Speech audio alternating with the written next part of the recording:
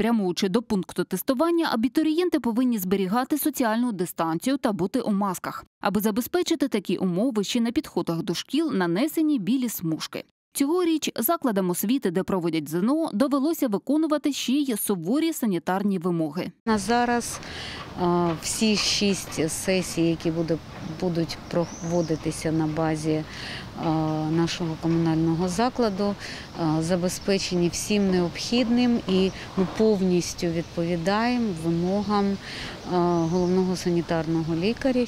144-та школа одна з понад 30 навчальних закладів Дніпра, де проводять ЗНО. Її, як і інші, напередодні тестування перевіряють представники Держпродспоживслужби. Звертають увагу на наявність санітайзерів, контейнерів для використаних масок, забезпеченість необхідними дезінфекційними засобами. В туалетах мають бути гаряча вода, мила та паперові рушники.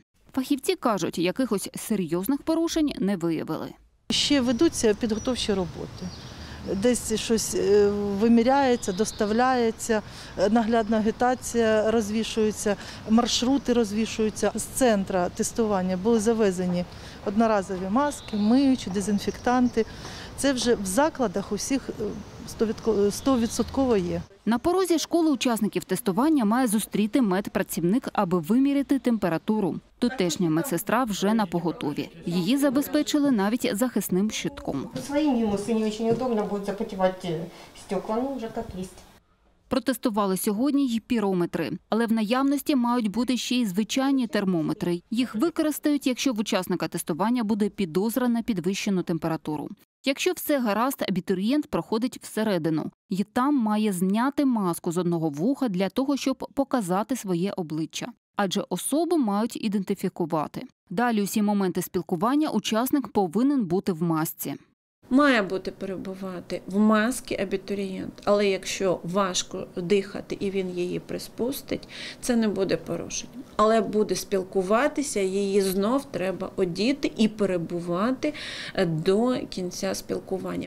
Дистанція між учасниками ЗНО в аудиторіях не менш як метр двадцять. В класах цієї школи розмістять по 15 осіб. Пункти ЗНО сьогодні перемивають і так само вологе прибирання проведуть після тестування. Ручки протираем, двери, все протираем. В четвер зранку в пункти ЗНО завезуть тестові матеріали. І нарешті буде даний старт цьогорічній сесії оцінювання знань. Керівниця регіонального центру налаштовує усіх учасників проявити максимальну витримку в цій процедурі. Якщо станеться так, що хтось через хворобу не зможе його завтра пройти або інші причини, то є додаткова сесія, є наступні роки, і взагалі є інші варіанти в житті. На ЗНО життя не закінчується, але 11 канал бажає усім учасникам тестування спокою та впевненості. А також нехай буде ще удача. Марина Дудник, Ігор Любарщук, новини 11 каналу.